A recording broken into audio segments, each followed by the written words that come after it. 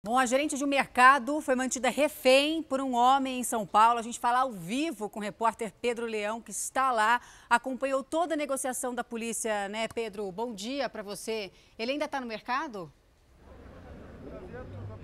Bom dia, Roberta. Bom dia, Salso, todos que acompanham o Fala Brasil. Ele ainda está ali dentro do mercado, mas a expectativa é que ele saia a qualquer momento para esta viatura que está com o porta-malas aberto. Essa ação começou por volta das sete e meia da manhã. Esse homem entrou, fez essa gerente refém dentro de uma sala. Ele não estava armado, mas dentro da sala havia objetos cortantes, por isso a Polícia Militar foi chamada, houve uma negociação por mais de uma hora, até que os policiais do GAT, o grupo, o grupo de apoio táticos especiais, eh, tomaram conta da negociação e rapidamente a mulher foi libertada, já saiu aqui numa ambulância direto para o hospital e a expectativa é que este homem possa entrar a qualquer momento dentro da viatura da Polícia Militar. A Polícia Civil vai investigar o porquê e quem é este homem que invadiu esse local e fez essa gerente como refém.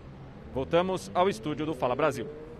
Atenção urgente, neste momento, atenção, são imagens ao vivo do jornalismo da Record TV. Preste atenção, acabou de sair, acabou de sair o homem que fez uma mulher refém, a gerente de supermercado na região da Avenida Paulista. Ele acabou de se render, neste momento está sendo colocado na viatura agora. Acabou de sair o homem que fez uma mulher refém num supermercado na região da Avenida Paulista. Nós mostramos a saída da mulher nós mostramos a saída da mulher e agora o momento da saída do homem, o momento da saída deste homem. Ali, ó, pronto, ó, o momento em que ele sai, você acompanha agora o momento em que ele sai e é colocado na viatura da polícia. Não sabemos o motivo, o que levou esse homem a manter a gerente desse supermercado refém. Se foi uma tentativa de assalto, se foi uma questão pessoal, a gente não sabe ainda. Não temos os detalhes disso. Eu já reforço a você que ela saiu bem, ela foi colocada numa ambulância dos bombeiros, mas sem, feri sem ferimentos, apenas muito nervosa e ele acabou de sair agora e foi colocado na viatura da polícia.